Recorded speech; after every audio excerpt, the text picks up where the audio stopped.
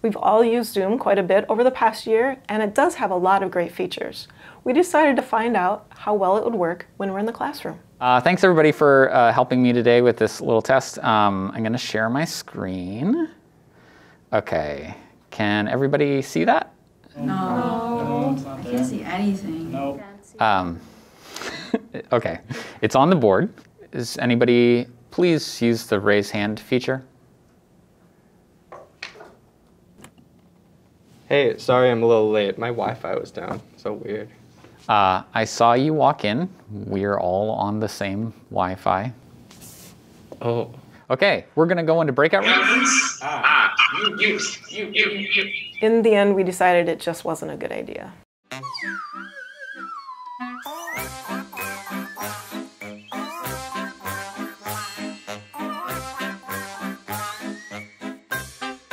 Should have left when I got here.